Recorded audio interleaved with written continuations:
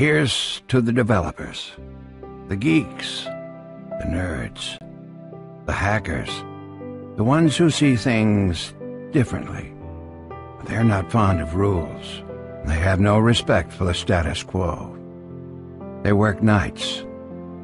They start companies. They sit alone with their headphones because they're busy changing the world. They invent. They code. They explore. They inspire.